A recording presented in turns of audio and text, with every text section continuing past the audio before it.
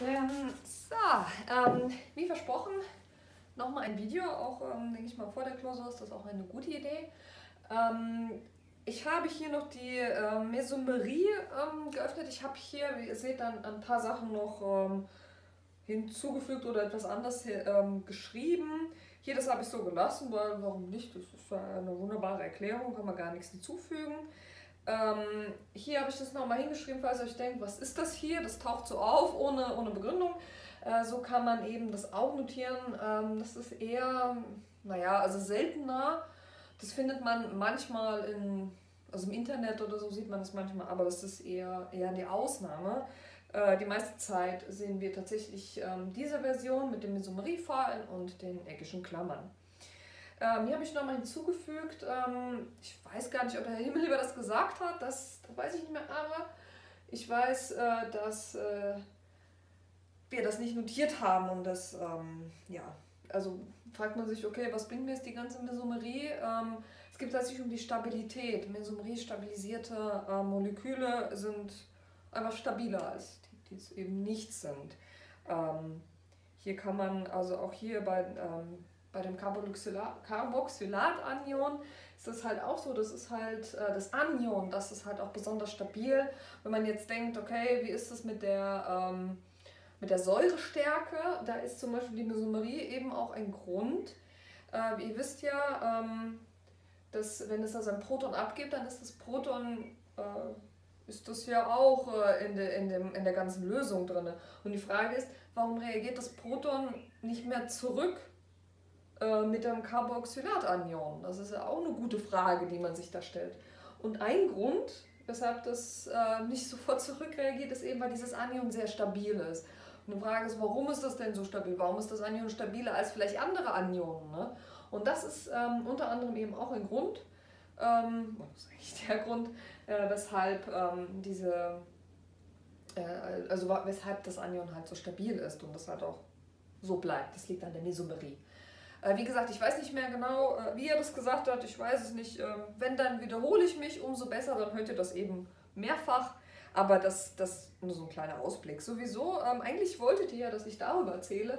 Ich weiß auch gar nicht, was ich so ähm, darüber, wie viel ich erzählen soll, weil es steht eigentlich da. Aber ich sag's trotzdem nochmal.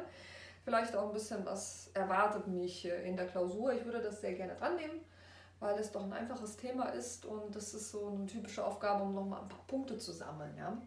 Also, äh, bei der Primärstruktur, da sehen wir die Peptidbindung.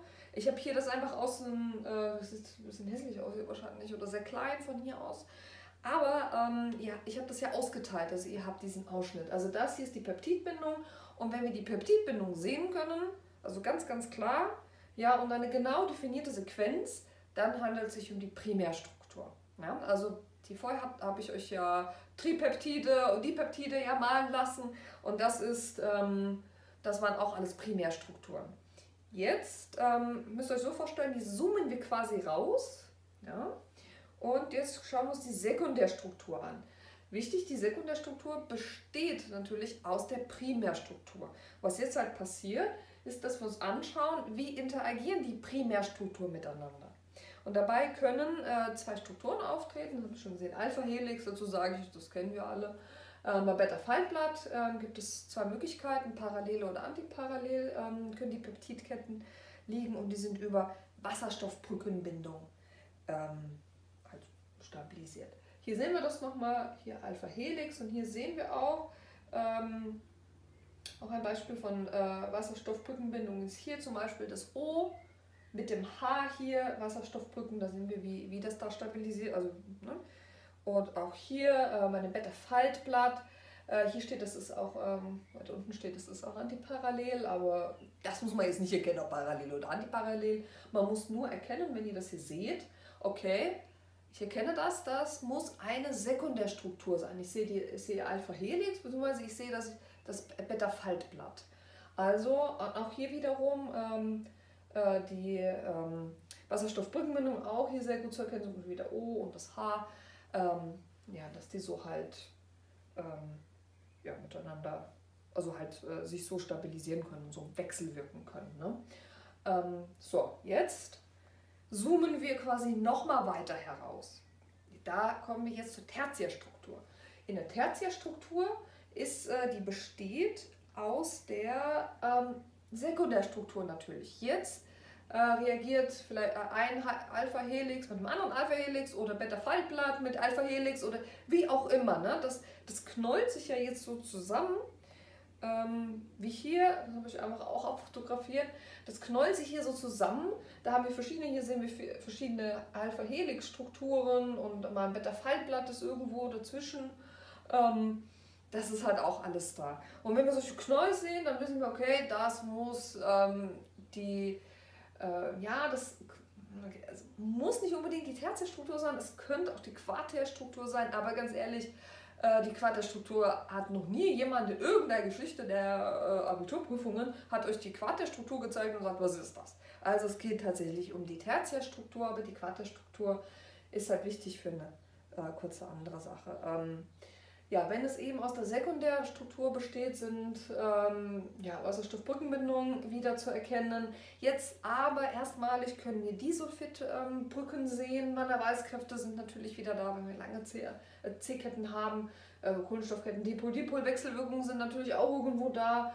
Also ionische ähm, Bindung haben wir, also viel. Ihr seht das dann äh, in den Aufgaben, die ihr bekommen habt, seht ihr dann auch, da muss man ja sagen, und auch in den Lösungen, ich dann geschickt habe, ähm, seht ihr dann auch, was es hier war. Also das ist sozusagen die Aufgabe schlechthin. Erstmal sagen, okay, äh, was ist das für eine Struktur? Das muss die Tertiärstruktur sein, weil ich erkenne das hier.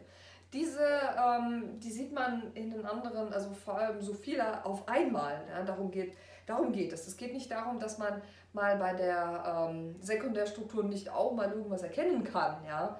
Das halt nicht, aber ähm, alle so zusammen, das gibt es halt bei der Sekundärstruktur das sehen wir da, nicht. Ne? Und vor allem dieses Knollartige, das sehen wir halt auch nicht.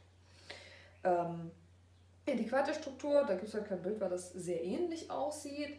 Ähm, die besteht aus der Tertiärstruktur, also wir zoomen quasi noch mal weiter raus, sozusagen bei der Quartärstruktur ist die letzte Zoomstufe, also die Raus-Zoomstufe.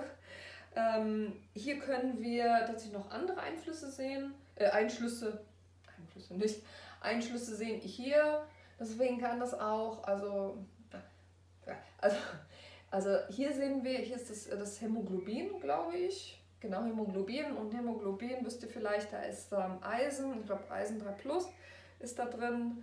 Ja, das macht halt die rote Farbe aus. Ähm, und da sieht man das halt auch. Das ist irgendwie ein größeres Knäuel, aber dieses Knäuel, Quaterstrukturknäuel vom Tertiärstrukturknäuel zu erkennen, ist relativ schwierig. Deswegen wird das halt auch gar nicht gemacht. Ähm, das bedeutet aber nicht, dass man in der Tertiärstruktur nicht auch mal ein Metall sehen kann. Das bedeutet es halt auch nicht. Ähm, die sind halt relativ, ähm, ja, sich da ähnlich. Ja, nur das ist, das ist so charakteristisch an dieser Quartärstruktur, dass wir noch so Metallkationen zum Beispiel erkennen. Ähm, bei uns ist es, also es gibt viele Varianten. Ähm, es muss nicht unbedingt Eisen sein, es kann auch Magnesium oder was auch immer da drin sein. Und dann haben wir dementsprechend eben andere Proteine.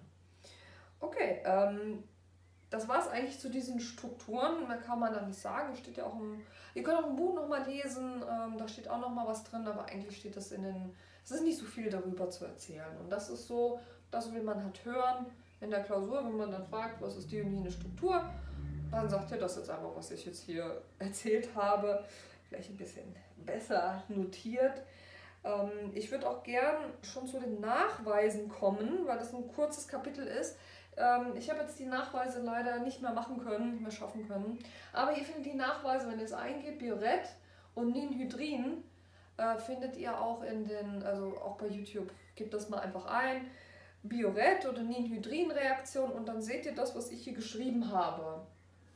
Ähm, das Interessante ist, wir können, ähm, es gibt jetzt halt Nachweise, eben auch für die ähm, Eiweiße. Wir können mit Bioret beides, äh, mit, ja, mit Bioret und Ninhydrin lässt sich beides mal Eiweiß nachweisen. Bioret äh, kann keine Aminosäure nachweisen, aber Ninhydrin kann Aminosäuren nachweisen. Also wenn man da, also es gibt vielleicht später mal, ich weiß nicht, im Abitur, wenn es da so ein paar tricky Fragen gibt, äh, ja, man will jetzt irgendwie die Aminosäure vom Eiweiß unterscheiden, ja, äh, da muss man halt doch zwei Versuche machen, ja, oder wenn es überhaupt ein Eiweiß gibt, gibt es überhaupt ein, eine Aminosäure, ne? Da muss man halt da gucken. Also, aber man kennt das hier ganz gut anhand der Farben. Ne? Genau, das habe ich auch hier hingeschrieben. Ähm, mehr kann man dazu nicht sagen. Natürlich, äh, was ihr machen solltet, das habe ich hier nicht hingeschrieben. Ihr sollt es natürlich sofort in die Nachweistabelle eintragen. Dann habt ihr auch die Nachweise für Protein. Das geht auf jeden Fall mit beidem. Ähm, aber Ninitrin geht nur für die Aminosäuren. In die Nachweistabelle eintragen. Ähm, ich überlege, ob ich nochmal, wann ich in die Schule komme. Ich will auf jeden Fall nochmal einen anderen Versuch noch machen über die Denaturierung. Das kriege ich hoffentlich hin, ähm, dass ihr zumindest Versuch nochmal von mir seht. Aber wie gesagt, ich habe mir das auch angeguckt, Ninodrin und Bioret, das sind wirklich, ähm, das sind gute Videos. Ähm, es gibt noch eine, allerdings ähm, schwierigere, also äh, Nachweis für Proteine, und zwar Xanthoprotein, so heißt das. Da muss man ein bisschen aufpassen. Das ist ist okay als Nachweis, aber die das weist tatsächlich nur ganz bestimmte Proteine, also ganz bestimmte Aminosäuren nach. Die brauchen halt so einen, so einen Benzolring, den wir nicht kennen. Das ist da so ein bisschen, muss man halt aufpassen. Deswegen habe ich das auch gar nicht mit reingenommen, weil Xanthoprotein ist so eine Sache. Es kann vielleicht auch negativ sein, obwohl es ein Protein ist. Ne? Aber nichtsdestotrotz, wir wollen es in die Nachweistabelle, in die Nachweistabelle eintragen. So, Gut, ähm, das war es jetzt von mir. Ähm, wenn es Fragen gibt, dann einfach so Fragen stellen per WhatsApp, wie auch immer. Ja, das war's dann. Denk mal, ja, dann sehen wir uns äh, erst nächst, äh, direkt bei der Klausur dann wieder. Gut, ja.